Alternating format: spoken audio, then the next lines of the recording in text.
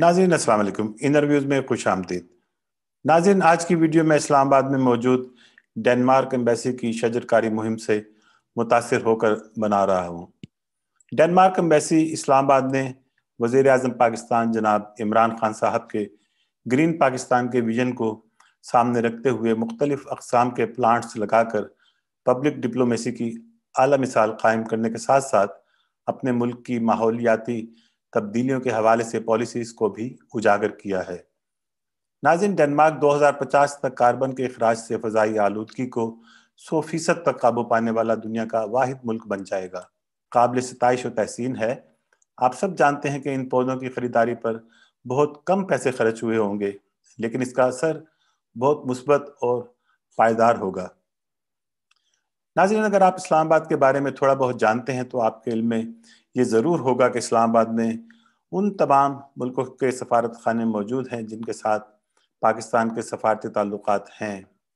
سفارت خانوں کے علاوہ کچھ ممالک جن کے پاکستان کے ساتھ تجارتی یا کلچرل مفادات بھی وابستہ ہیں، انہوں نے پاکستان کے بڑے شہروں جیسے کراچی، لاہور اور پشاور وغیرہ میں اپنے کونسلیٹ اور کلچرل سینٹرز بھی کھول رکھے ہیں۔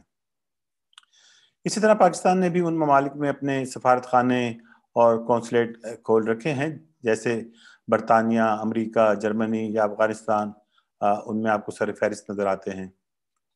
ہمارے سفارت خانے جو مختلف ملکوں میں موجود ہیں یا جن ممالک کے سفارت خانے ہمارے ملک پاکستان میں کام کر رہے ہیں، ان کے کاموں کی نوعیت تقریباً ایک جیسی ہی ہوتی ہے۔ لیکن جو ایک واضح فرق ہمارے سفارت خانوں کے کام اور دیگر ممالک کے سفارت خانوں میں نظر آتا ہے وہ یہ کہ ہمارے سفارتکار پبلک ڈپلومیسی پر زیادہ توجہ نہیں دیتے۔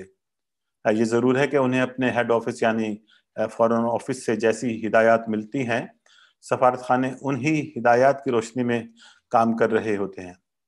لیکن میں نہیں سمجھتا کہ اگر کوئی سفیر اپنے طور پر پبلک ڈپلومیسی پر کام کر رہا ہو یا کرنا چاہے تو فورن آفس اسے اس سے روک دے۔ لیکن یہاں ایک فرق جو ہمیں سمجھنا چاہیے کہ بیرون ممالک میں موجود پاکستان کے سفارت خانے ہوں یا کونسلیٹ زیادہ تر ان ملکوں میں موجود اوورسیز پاکستانیوں کے لیے پاسپورٹ، شناختی کارڈ کے اجرا یا دستاویزات وغیرہ کی تصدیق جیسی سروسز فراہم کرتے دکھائی دیتے ہیں۔ اب ان سروسز کا جو بھی معیار ہے وہ اس وقت میرا موضوع نہیں ہے۔ دوسری طرف جن ممالک کے پاکستان میں سفارت خانے اور کونسلیٹ موجود ہیں، ان ممالک کے پاکستان میں شہری شاید انگلیوں پر گنے جا سکتے ہیں۔ تو ان کے پاس شاید زیادہ سکوپ ہوتا ہے پبلک ڈپلومیسی میں کام کرنے کا۔ اور انہوں نے جو کونسلیٹ یا کلچرل سینٹرز پاکستان کے بڑے شہروں میں قائم کر رکھے ہیں، ان کو وہ ممالک پبلک ڈپلومیسی کے لیے زیادہ بھرپور طریقے سے استعمال کر رہے ہوتے ہیں۔ اور جیسا ہم دیکھتے ہیں کہ برطانیہ نے تمام ممالک، بشمول پاکستان، برٹش کونسل جیسے ادارے اور امریکہ نے امریکن سینٹرز کھول رکھے ہیں۔ جو پبلک ڈپلومیسی کا بہت بڑا ذریعہ ہے۔ اس کے ساتھ ساتھ یہ ممالک اپنے ملکوں کی بہترین یونیورسٹیوں میں طلباء کو اعلیٰ تعلیم کے ساتھ ساتھ اسکالرشپس دے کر اپنی پبلک ڈپلومیسی کو بوسٹ فراہم کرتے ہیں۔ اب جن ملکوں میں اوورسیز پاکستانیوں کی ایک بڑی تعداد آباد ہے، وہاں ہمارے سفارتکار بدقسمتی سے اپنے اصل کام یعنی بہتر سفارتکاری کے بجائے کمیونٹی کے مسائل میں اپنے آپ کو زیادہ الجھا لیتے ہیں۔ یہاں میرے کہنے کا مطلب ہرگز یہ نہیں کہ کمیونٹی کے مسائل حل نہ کیے جائیں۔ یہ تو سفارت خانے کا پہلا کام ہونا چاہیے کہ اپنے لوگوں کے مسائل پہلی فرصت میں حل کیے جائیں۔ لیکن ان کو بہتر طریقے سے بہرحال مینج کیا جا سکتا ہے اور اپنی باقی توانائیاں پبلک ڈپلومیسی پر صرف کی جا سکتی ہیں تاکہ ان ممالک کے لوگوں تک سفارتکار مختلف ایونٹس یا پریس اور میڈیا کا استعمال کر کے اپنے ملک کے بہتر امیج کو ابھار سکیں۔ اور اب تو پاسپورٹ یا شناختی کارڈ وغیرہ کا اجرا آن لائن ہو گیا ہے، جس سے سفارتکاروں پر کام کا بوجھ بھی ضرور کم ہو گیا ہوگا۔ اور یہ کام تو آپ جانتے ہیں، پہلے بھی براہ راست سفارت خانہ یا فورن آفس کی بجائے حکومت کا ایک الگ محکمہ ہی کیا کرتا تھا۔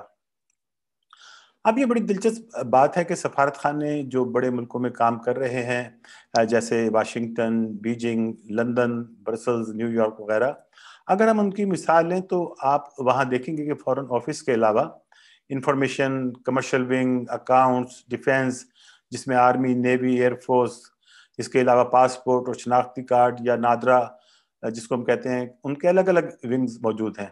اور ان کا تمام عملہ اپنی اپنی وزارتوں کو جواب دہ ہوتا ہے۔ لیکن ہمارے فورن آفس کے لوگ اپنے آپ کو ایک سپیریئر مخلوق سمجھنے کا خط اپنے ساتھ لے کر محکموں کو کمی کمین یا اچھوت کی طرح دیکھتے ہیں۔ اور اسی سوچ کے ساتھ جب وہ دوسرے محکموں کے افراد کے ساتھ سفارت خانوں میں کام کرتے ہیں، تو یہ اپنے آپ کو ہر فیلڈ کا رستو اور افلاطون سمجھتے ہوئے اپنے کام پر دھیان دینے کے بجائے باقی محکموں کے کاموں پر زیادہ نظریں جمائے رکھتے ہیں۔ اور ان کو آزادی سے کام نہیں کرنے دیتے اور خواہ خواہ ان کے کام میں تاخیر اور روڑے اٹکاتے ہیں اور پھر سفارت خانوں میں جس طرح کی گروپنگ اور ایک دوسرے کی ٹانگیں کھینچنے کا ماحول بن جاتا ہے، اس میں سفارت کاری گئی گھاس چرنے۔ اس طرح کے ماحول میں کوئی بھی اپنا کام دل جمعی اور خوشی سے نہیں کر پا رہا ہوتا۔ اپنے ملک میں موجود تمام برائیوں اور خرابیوں کے باوجود اگر ہم بھارت کی سفارتکاری کو دیکھیں تو انہوں نے اپنے کلچرل پریس اور میڈیا ونگز کو بڑی کامیابی سے استعمال کیا ہے۔ اور جب ہم اپنی سفارتی محاذ پر پے در پہ ناکامیوں کو دیکھتے ہیں تو اس کی ایک بڑی وجہ جو میں سمجھ پایا ہوں، اس میں ہمارا مزاج اور نفسیات کے اپنے کام کی بجائے دوسروں کے کاموں میں خامہ خواہ کی دخل اندازی اور گھسنا ہے۔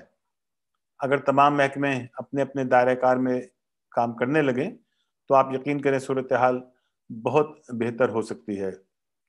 بھارت صرف اپنی فلم کے ذریعے نہ صرف کثیر ذرائع مبادلہ کماتا ہے، بلکہ عام پبلک میں بھی اس کے بارے میں ایک مثبت تاثر پایا جاتا ہے۔ کیونکہ بھارت اپنے بیرون ملک سفارت خانوں میں موجود کلچرل سینٹرز پریس اور میڈیا کو بہت بہتر طریقے سے استعمال کر رہا ہے۔ بھارت میں ہو رہی انسانی حقوق کی خلاف ورزیاں، وہاں موجود مذہبی اقلیتوں پر ہو رہے مظالم غربت کی سنگین صورتحال، موسمی تبدیلیوں میں بھارت کا منفی کردار۔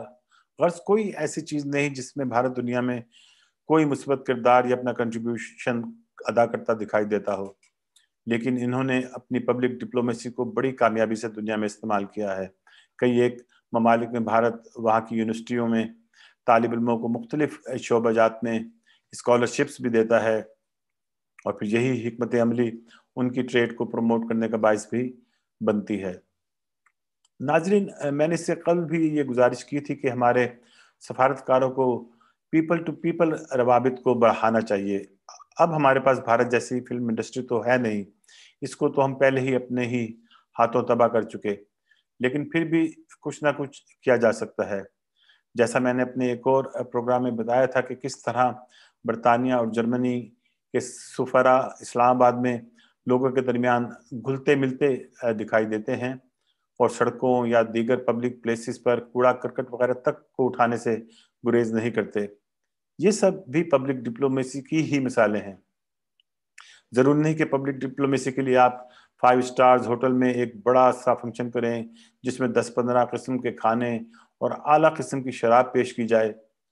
اب پاکستان میں جو سفارت خانے ہیں، وہ پاکستانی ایلیٹ کے مزاج کو سمجھتے ہوئے اپنے فنکشنز میں شراب اس لیے رکھتے ہیں کہ ہمارے لوگ ترنگ میں اور نشے میں ٹن ہو کر ان کے مقاصد کو پورا کرتے ہیں۔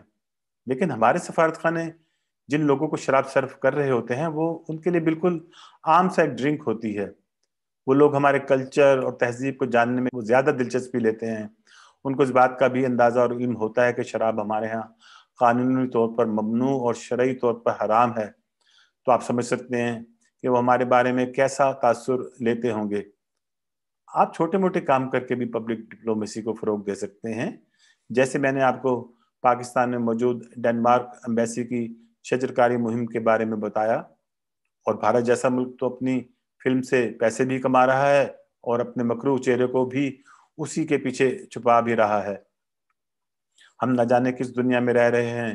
اگر ہمارا دشمن کوئی ایسا کام کر رہا ہے جس سے کچھ سیکھا جا سکتا ہے تو ہم کیوں سیکھنے سے گھبراتے ہیں؟ جب تک ہم اپنے اوپر سے فن خانی کا لبادہ نہیں اتار کے پھینکیں گے، ہم نہ کچھ سیکھ سکتے ہیں، نہ ہمارا کوئی مثبت پہلو دنیا کے سامنے آئے گا۔ ناظرین انسانی زندگی تو نام ہی سیکھتے رہنے کا ہے، لیکن سیکھنے کے لیے بہرحال زندہ ہونا بھی ایک شرط ہے۔ اب یہ فیصلہ آپ کر لیں، کیا ہم واقعی زندہ بھی ہیں؟ خدا ہمارا حامی و ناصر ہو۔ پاکستان زندہ باد